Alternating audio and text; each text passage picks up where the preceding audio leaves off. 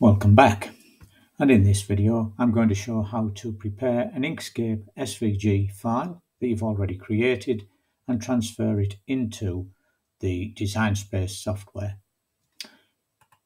If you note on here each of the objects within this drawing are separate. The first thing we have to do is click and drag around them, go to the top ribbon to Object and Group.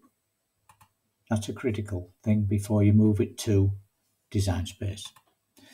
You then say File, clean up the document, which gets rid of anything else on that document that you're not using, and then File, Save. Next thing to note is the size of the object, which is 13.409 by 7.563, as you can see here in this top ribbon. They are critical because that's the size that you wanted in design space, and design space in most cases does not pick up the correct size. So let's move to design space.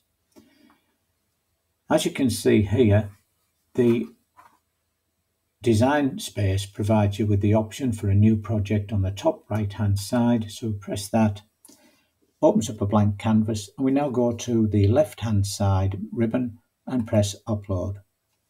Ignoring anything else that's been uploaded, we want this as a new image, so we upload the image. Now if you're on a twin screen system, you can drag and drop. But in this case, I'm using a single screen for this demonstration, so we press, press browse and we go looking for the file that we're looking for, which in this case is Boss Shelter's mainframes. Click on there and open, and it will transfer direct into Design Space. We now have to upload that, and we press the upload in the bottom right, and it will upload that into this part here.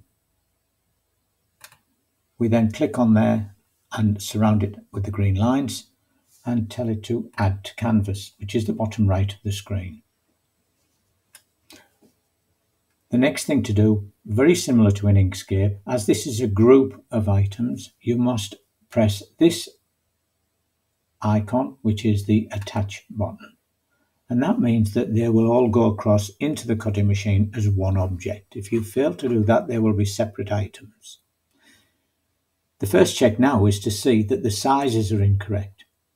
This is saying that it's 6.223 by 3.5, which does not match the Inkscape sizes. And as you can see here, I've kept both screens there, that the Inkscape says it should be 13.4 by 7.5. So we go into this part of the ribbon here, unlock, just press this little lock to make sure it's unlocked.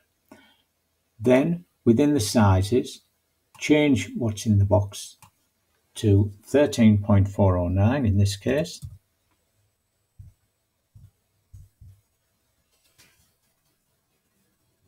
Then go to the height and alter that to 7.563. Now have the correct size.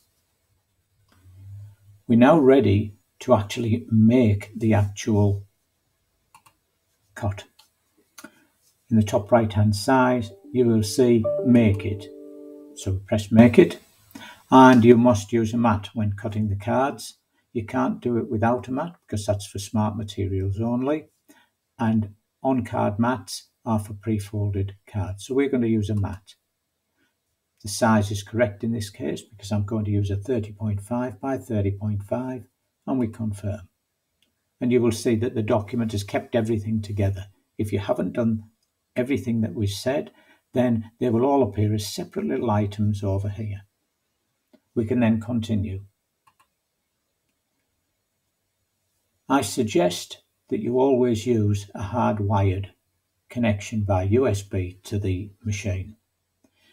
If you start using large files and you're using wireless, then it will not always complete the task. It will only do part of it and then it'll drop the wireless. And before we went into here, you must make sure that your machine is actually turned on or it won't connect. Now in this case, if we were going to cut this in, for example, um, a chipboard, we'd select chipboard. if we were going to use heavy cardstock or magnetic sheet or whatever's on here, then you would select that. For this, I'm going to only be cutting it out on paper to save materials. But to quick look to see this browse all materials, this will give you an idea of what's within the machine. And as you can see, these are all the types of material that the you can use on this machine. And it will pick out your favorites and store them on that opening screen. And as you can see, these are highlighted with the yellow stars. I've just highlighted these. I won't go into it, but you can go further and then alter the settings within each of the materials. So we're ready to go. We press copy paper. We're just going to go with some paper for this one, just to demonstrate. This will tell you what type of blade to use. And then you have to load the mat and press the load and upload button on the machine. I'm going to stop there and break for the second video, which will actually carry on from there, loading the material onto the machine and performing the cut.